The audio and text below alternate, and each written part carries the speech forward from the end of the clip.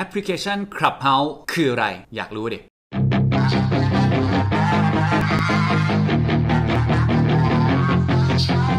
แอปพลิเคชัน Clubhouse เนี่ย เป็นแอปดาวรุ่งหุ่งแรง ที่ในกระแสสังคมในตอนนี้เป็นที่พูดถึงกันมากที่สุดเลยก็ว่าได้ ใครที่ยังไม่รู้จักแอป Clubhouse เนี่ยเชยเลยนะ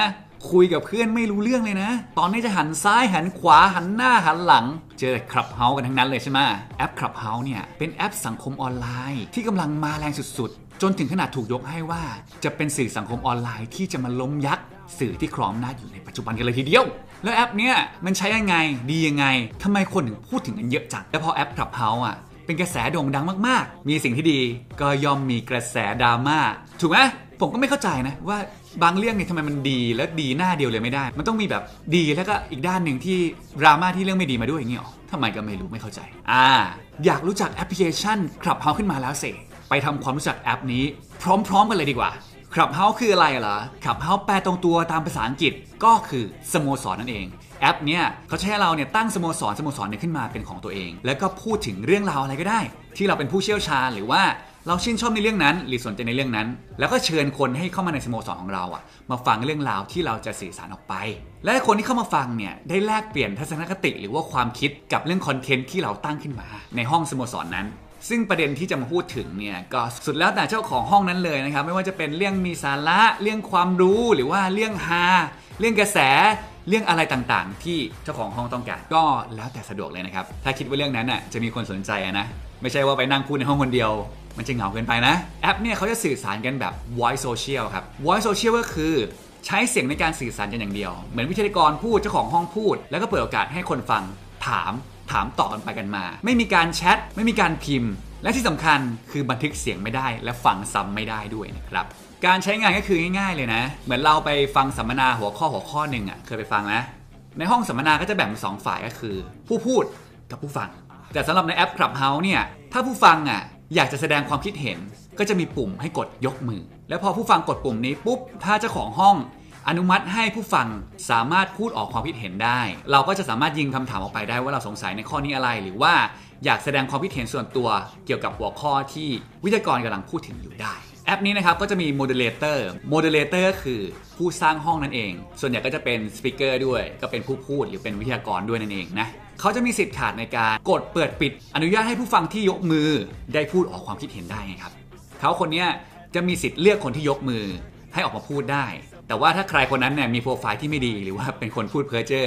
เคยกดให้พูดทีนึงแล้ว แล้วพูดอะไรก็ไม่รู้เนี่ยเขาก็สามารถกดปิด หรือว่าไม่กดอนุมัติให้ได้พูดให้ออกความคิดเห็นก็ได้ ก็คือไม่กดเปิดไมค์ให้เลยอะอยากฟังก็ฟังไปอะไรอย่างนี้ การสร้างห้องของ Clubhouse เนี่ยก็มีหลายแบบนะครับ ก็มีแบบ Public ก็คือสาธารณะเลย แบบ Follower ก็คือเฉพาะคนที่ Follow กับเราเนี่ยสามารถเข้าฟังเข้าชมได้ แล้วก็มีแบบ Private นะครับก็คือเจ้าของห้องต้องเป็นคนเชิญเท่านั้นถึงจะเข้ามาร่วมฟังได้ แบบ private เนี่ยก็นิยมใช้ในการประชุมสัมมนา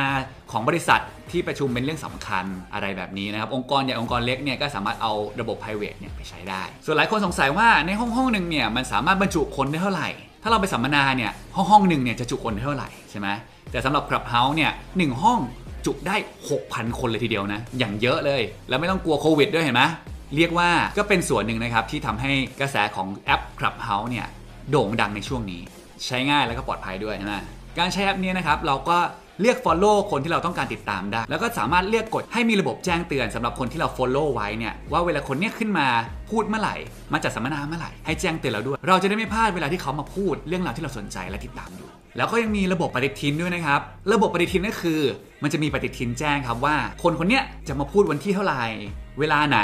มันทำให้เราวางแผนได้ครับว่า วันเนี้ยจะมีคนมาสติกเกอร์ จะมีคนมาพูดตอนเวลานี้ ในประเด็นที่เราสนใจนะเราก็วางแผนว่าอ่าเวลานี้เราต้องล็อกเวลาไว้เพื่อจะมาฟังเขาแล้วเวลาเราฟังห้องไหนอยู่อะเราคิดว่าเฮ้ยโหห้องนี้แม่งเจ๋งว่ะสาระความรู้แม่งดีว่ะหรือว่าฮาจังเลย อยากเชิญเพื่อน เราเชิญเพื่อนได้นะครับให้มาร่วมฟังกัน ส่วนห้อง private ที่ผมพูดถึงไปเนี่ย พวกบริษัทต่างๆ หรือองค์กรใหญ่ๆ ต่างๆ ก็นิยมใช้ในการประชุมกันนะ เพราะว่าแอปเนี้ยเขามี security ที่แบบค่อนข้างสูงมากๆเลยนะแต่ก็มีข้อเสียอย่างหนึ่งก็คือ สามารถพูดคุยกันได้อย่างเดียวนะ ไม่สามารถแชร์อะไรให้กันได้ หรือว่าส่งข้อมูลอะไรให้กันได้ในแอปนี้ครับ ส่วนใครที่จะใช้แอปนี้ในตอนนี้นะ ต้องใช้ ISO เท่านั้นนะครับ ใครที่เป็น Android นี่ก็ลูกเมียน้อยไปก่อน ในตอนนี้ Android ยังใช้ไม่ได้ครับสำหรับแอป Clubhouse นะ แต่ว่าเจนเย็นสาย Android ยังไม่ต้องร้อง เพราะว่า นักพัฒนาของแอปนี้เนี่ยเขาสัญญาไว้แล้วว่าในอนาคต Android จะสามารถใช้แอป Clubhouse ได้แน่นอนใจะเย็นๆใจะเย็นๆยังไม่ต้องร้องไม่ต้องร้อง และหลาย ๆ คนเนี่ยพอเห็นแอปนี้เป็นกระแสขึ้นมาเนี่ยก็อยากจะเข้าไปใช้แอปนี้ทันที แต่งงใช่ปะหลายคนงงอยู่ เอ้ยทำไมเข้าไม่ได้อะทำไมสมัครไม่ได้ทำไมล็อกอินไม่ได้ งงอยู่ใช่ไหมที่เข้าไม่ได้ก็เพราะว่าแอปนี้เนี่ยก่อนที่จะเข้าใช้งานเนี่ยต้องมีการ invert กันก่อน invert คืออะไรเหรอ ก็คือคนที่ใช้งานแอป Clubhouse อยู่เนี่ยที่ใช้อยู่แล้วเนี่ยต้องเชิญเราเชิญคนที่ยังไม่เคยใช้แอปเนี่ยต้องกดเชิญให้เข้าไปในแอปนั้น เราถึงจะเข้าไปใช้งานได้เป็นไงต้องเชิญกันก่อนด้วยนะ สุดพิเศษกันเลยทีเดียว ส่วนตัวเราเองพอได้เข้าไปใช้แอปแล้ว เราก็สามารถ invite เพื่อนได้ 2 คนในจุดเริ่มต้นนะครับ และพอเล่นไปเรื่อยๆเนี่ยจำนวน invite ของเราก็จะค่อยๆ เพิ่มขึ้นเอง ถ้าเรามีเบอร์เพื่อนของเราอยู่แล้วเนี่ยพอเราเข้าใช้แอป Clubhouse มันก็จะมีแจ้งเตือนว่าเราเนี่ยต้องการเชิญเพื่อนคนนี้เข้าไปใน Clubhouse ของเราไหมใครรักใครชอบใครก็สามารถเชิญกันได้นะ แต่เห็นมีกระแสว่าหลาย ๆ คน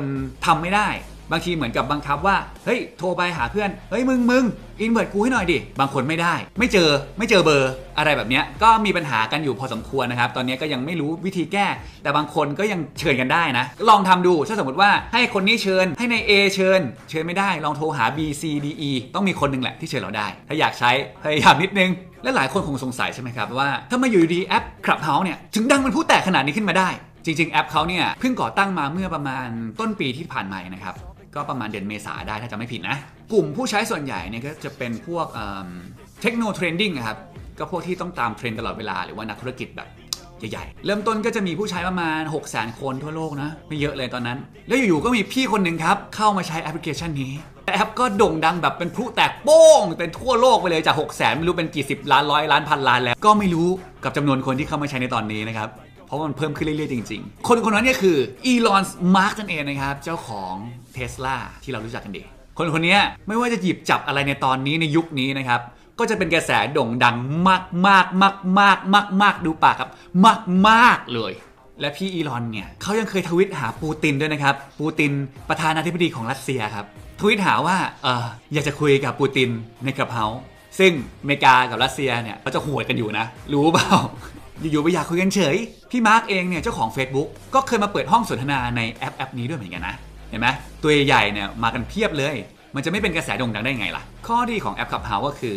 เราสามารถสื่อสารกับเจ้าของห้องได้โดยตรงนะครับ เหมือนกับได้พูดคุยกันเลยอะ ต่างจาก Facebook ก็คือ Facebook เนี่ยสื่อสารในทางเดียว แต่ก็มีกระแสมาว่า Facebook จะทำฟังก์ชันเนี้ยที่คล้ายๆ กับ Clubhouse เนี่ยจะทำออกมาเร็วๆนี้ แต่ว่าก็อ้างว่านะครับอ้างว่าเขามี plan ไว้อะตั้งแต่นานแล้ว แต่ยังไม่ทำออกมาเท่านั้นเอง แต่เรื่องจริงตื้นลึกหนาบางยังไงก็ไม่รู้ ไม่รู้ว่าเอ้ยพอ Clubhouse ดัง แล้วก็รีบสร้าง feature นี้ออกมาเพื่อสู้กันหรือเปล่า เพราะกลัวโดนตีแตกอันนี้เราก็ไม่รู้ แล้วบางคนอาจจะสงสัยว่า เอ้า อย่าง Facebook ที่บอกว่าสื่อสารทางเดียว ไม่ใช่นี่ เวลาไลฟ์ก็ 2 ทางนี่ แต่ว่า Clubhouse เนี่ย เจ้าของห้องสามารถเลือกเปิดไมค์หรือปิดไมค์ใครก็ได้ที่จะมาสื่อสารกับเราไงคือง่ายๆคือสามารถขจัดพวกเกรียนคีย์บอร์ดได้ดีมากๆเลย ใครที่เรารู้สึกว่ามันเกรียนหรือว่าพูดอะไรไร้สาระ เราก็ไม่ต้องกดเปิดไมค์ให้มันแค่นั้นเอง แต่เวลาไลฟ์ใน Facebook อย่างเงี้ยมันเลือกไม่ได้เห็นปะเกรียนกันเต็มหมดและแอป Clubhouse เนี่ย เขาบังคับให้ใช้ข้อมูลจริง รูปจริงในการลงทะเบียนด้วยนะ เวลาใช้งานเนี่ยก็ต้องใช้รูปจริง ถ้าเราไปใช้รูปไก่กาหมาหมูเหมืออะไรเงี้ยเขาบังคับให้เปลี่ยนรูปเลยนะ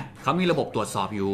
มันก็เลยทำให้ขจัดเกรียนคีย์บอร์ดเกรียนโซเชียลเนี่ยขจัดได้ดีมากๆเลย และอีกข้อดีของแอป Clubhouse ก็คือ ช่วยให้แฟนคลับศิลปินต่างๆ สามารถใกล้ชิดพูดคุยกับศิลปินได้ง่ายขึ้นบางคนเนี่ยเป็นแฟนคลับมานานมากเป็น 10 ปี ไม่สามารถได้คุยกับศิลปินเลย ถูกปะแต่แอปเนี้ย พอศิลปินมาเปิดห้องพูดปุ๊บเราสามารถไปยกมือขอคุยด้วยได้ อย่างน้อยก็ฟินไประดับหนึ่งถูกปะและสำหรับคนที่ชอบฟังสัมมนาหรือว่าฟังคนพูด โดยที่ไม่อยากให้ตัวเองโดนเห็นหน้า ก็คือแบบชอบ p r i v a t มากๆเนี่ยก็เป็นข้อดีของแอปนี้เลยนะ อีกอย่างคือไม่เสียเงินด้วยไปสัมมนาที่นู่นที่นั่นที่นี่ เห็นหน้าเราเจอคนเยอะแยะมากมายแบบที่เราไม่ชอบ เสียเงินไปอีกไม่อยากไป แต่พอมาอยู่ใน Clubhouse นี่คือโอ้ฉัน private เงินก็ไม่ต้องเสียดีดี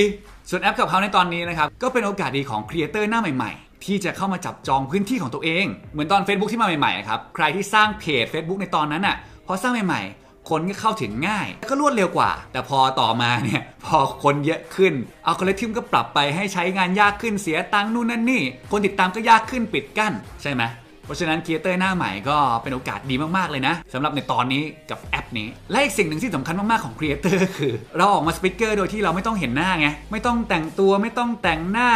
ไม่ต้องปรับ look ให้ดี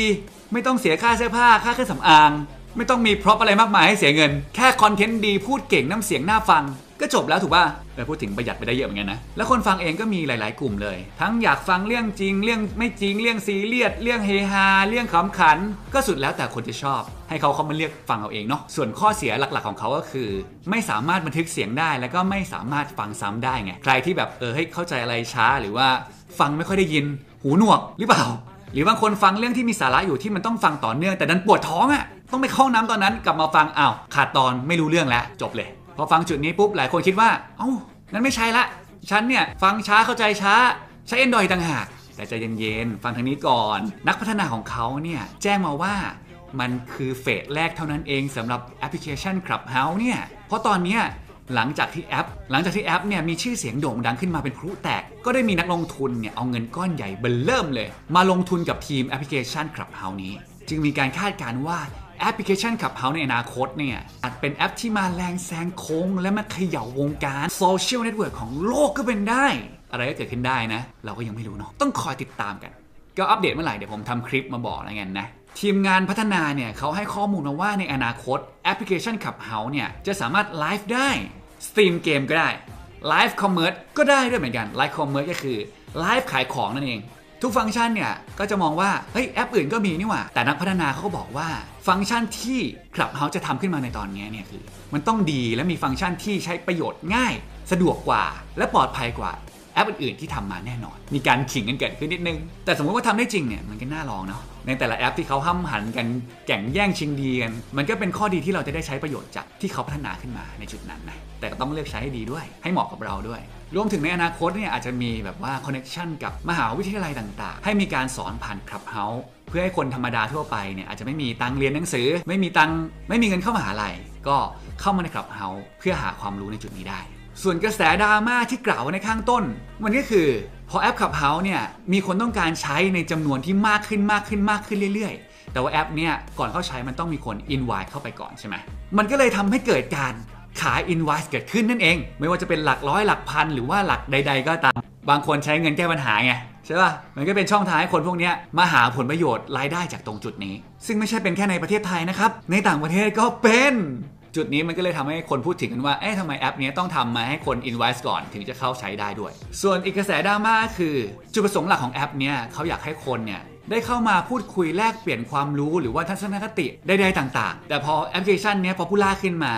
ก็มี CEO คนดังดาราเซเลบต่างๆเนี่ยเข้ามาใช้แอปนี้ พอคนที่เป็นเซเลบเข้ามาใช้แอปเนี้ยเหมือนอยู่ในห้องห้องหนึ่งพอคนทั่วไปกำลังพูดคุยยกมือถามตอบกัน สักพักหนึ่งมีเซเลบขึ้นมาพูด คนอื่นในห้องเนี่ยก็ไม่อยากฟังคนธรรมดาทั่วไปแล้วใช่ปะก็อยากจะฟังแต่เซเลบคนนี้พูดครับเขาก็เลยกลายเป็นที่ขยายผู้ติดตาม หรือว่าเป็นที่เก็บบารมีของคนดังไปซะแล้วในตอนนี้ ส่วนในประเทศจีนนะครับแอปพลิเคชัน Clubhouse เนี่ยเพิ่งโดนสั่งปิดไป เพราะว่าแอปเนี้ยรัฐบาลจีนเขาไม่สามารถเข้าไปแทรกแซงไปฟังได้ จีนเนี่ยเขาจะใช้ WeChat ซึ่งรัฐบาลสามารถตรวจสอบได้ว่าคนที่ใช้ WeChat เนี่ยคุยอะไรกันได้ แต่สำหรับแอปพลิเคชัน Clubhouse เนี่ยรัฐบาลจีนไม่สามารถเจาะเข้าไปได้เพราะว่า security เขาสูง แล้วก็คุยเสร็จปุ๊บ ก็ไม่บันทึกก็เหมือนลบหายไปเลย คนที่คิดต่างจากรัฐบาลเนี่ยมันก็เกิดการที่จุดประเด็นมาคุยเรื่องนั้นเรื่องนี้ อาจจะก่อให้เกิดสิ่งที่รัฐบาลจีนไม่ชอบก็เลย สั่งปิดแม่งเลย ส่วนในไทยนะครับล่าสุดเนี่ยบาร์บีคิวพาซาจัดให้เปิดห้องเข้ามาคุยกับเจ้าบาร์บีคอน ซึ่งไม่ได้คุยกับบาร์บีคอนจริงๆนะ บาร์บีคอนไม่มีตัวตนนะเว้ย หมายถึงว่าให้คนเข้ามาแบบทำเสียง2ถึง3 สวัสดีครับ น้องบาร์บีคอนเองครับ อะ หลายคนอาจจะดูติงต้อง แต่ไม่น่าเชื่อครับ ห้องนี้เนี่ย popular พอสมควรเลยนะ ก็คลายเครียดกันไป เป็นไงครับ ผมว่าสำหรับแพลตฟอร์มเนี้ยโดยรวมนะครับก็เป็นประโยชน์ต่อเรานะ ต่อสังคม ต่อหลาย ๆ คนสำหรับคนที่ต้องการได้รับความรู้ในเชิงต่าง ๆ ก็คงจะมีให้เลือกมากมายแหละ แต่พอเป็นกระแสโด่งดังเนี่ยมันก็เป็นเรื่องปกติครับที่จะมีคนนำไปใช้ในด้านที่ผิดบ้าง ไปแสวงหาผลประโยชน์บ้าง ใครที่จะเข้าไปใช้แอปพลิเคชัน Clubhouse เนี่ยก็ขอให้ไตรตรองการรับสารให้ดีด้วยนะครับส่วนถ้ามีคนถามว่าผมจะไปเปิดห้องไหมนั่นเหรออืมก็น่าสนใจอยู่นะ แต่ว่าจะเอาแบบมีสาระ หรือว่าเอาแบบฮาดี หรือว่าเอาแบบมีสาระปนฮาดี แบบสไตล์ผมอะ่ะก็ลองเมนกันเข้ามาดูนะครับว่าอยากให้ผมทำแบบไหนยังไงก็ฝากกดไลค์ ช่อง M p i l a d o n และกดติดตามกดกระดิ่ง ช่อง YouTube M p i l a d o n ให้ผมด้วยนะครับ แล้วก็กดไลค์กดแชร์เพจ M p i l a d o n ให้ผมด้วยนะครับ แล้วเจอกัน